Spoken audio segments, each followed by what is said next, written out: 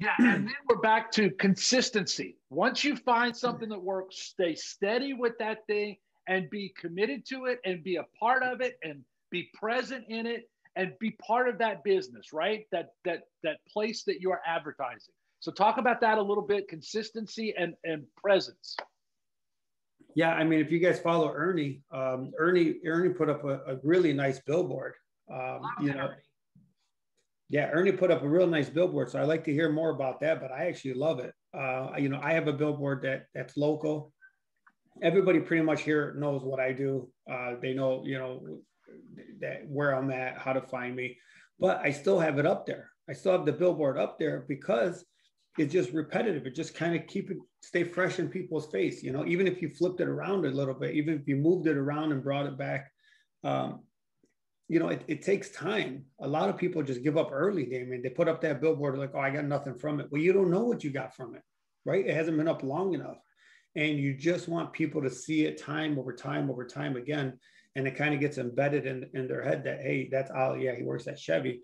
And then that one time a year later, they'll remember, hey, I need a car. Let me go to see Ali. You know, that's that's the whole idea. So um, you know, kind of get creative with it. I mean, this is ultimately what's going to drive real business to your place. This is what's going to put people in front of you that you created.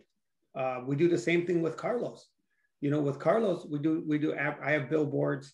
We have you know uh, local advertisements that we do with them, restaurants and and uh, newspapers.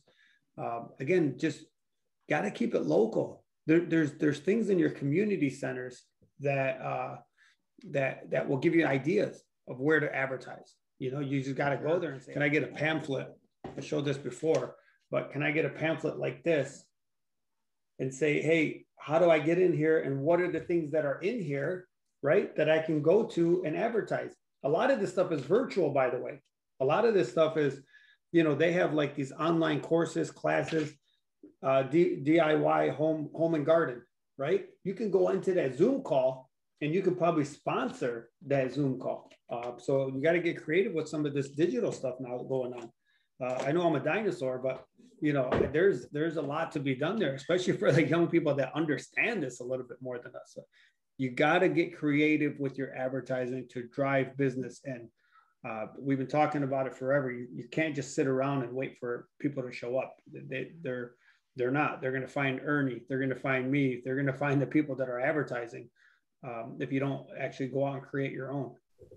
Now, there is a disclaimer. There are some dealerships that won't let you do some types of advertising. You have got to get approval from your general manager on what you're doing. Remember, the manufacturer has these high dollar ads that make the customer like the car and the, the sex appeal or the, the pride or the, the, the the significance that car brings to the marketplace. The dealer advertises price and location and all, all, that stuff. So you're not advertising those things as a rule. You're mostly letting people know about you.